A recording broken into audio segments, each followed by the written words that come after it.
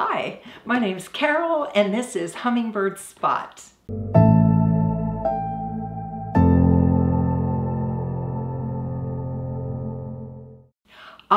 Am obsessed with photographing every species of hummingbirds. So far, I've photographed 174 of them, and every Sunday I come out with a new video taking you along with me while I try to find these fabulous birds. This video shows you 10 of my favorite species that I've photographed so far. Number 10, the purple-crowned plovercrest is found in southern Brazil, Paraguay, and a tiny area in Argentina. This one is so cute and easily could star in a Disney film. I mean, look at those feathers on the top of his head. They make this bird look so cheery, but it can fight just as hard to protect its territory as every other hummingbird. It has a habit of stretching just before it takes off for a flower. Number nine, the white-necked Jacobin. This bird is common almost everywhere hummers are found. One exception, of course, is the United States. I would love to see this bird come a little more north, like Studio City.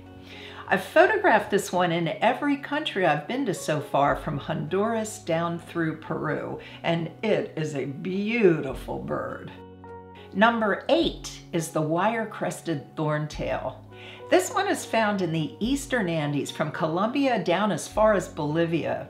I got my best pictures of this bird on my very first trip to Peru. You have to catch it just right to see its brilliant emerald green crown.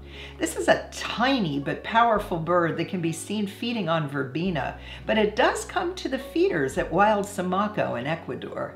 Number seven is the golden-tailed sapphire.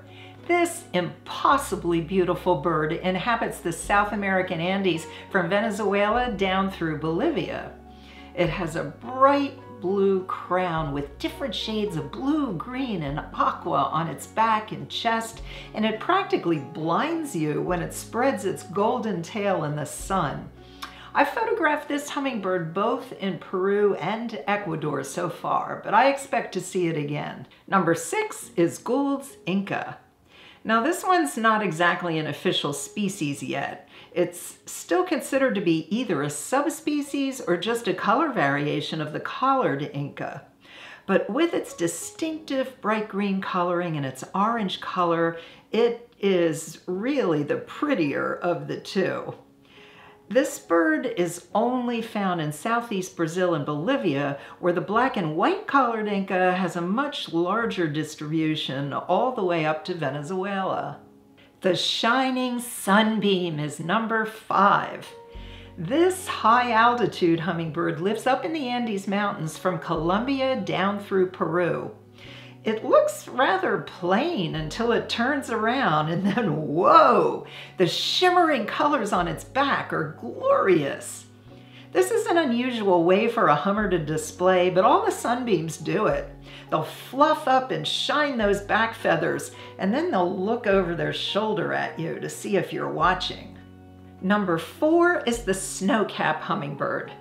This is a Central American bird and it's found from Honduras through Panama.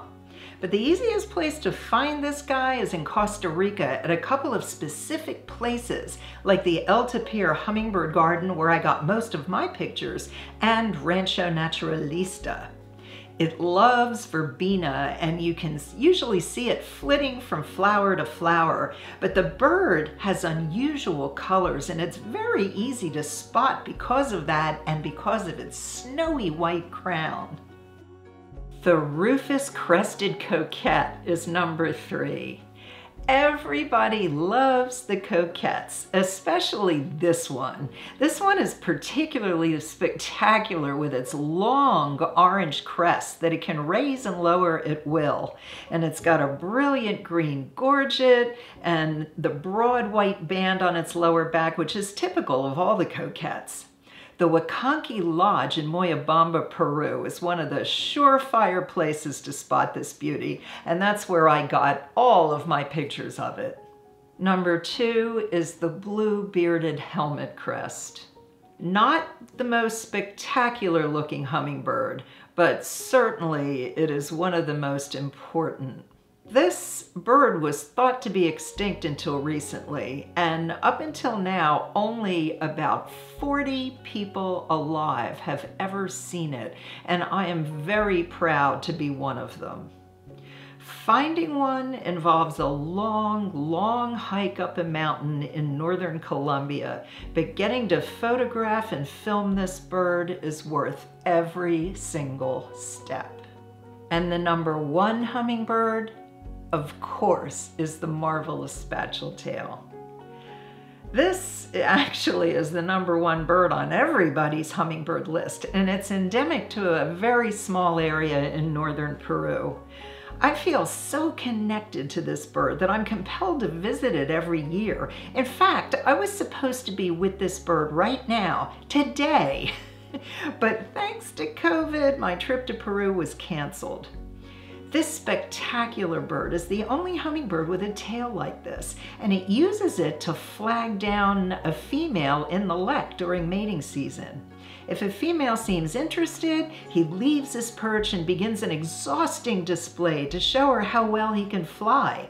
He zips back and forth, alternately flashing his purple crown and his turquoise throat while holding his discs of his tail feathers high above his head.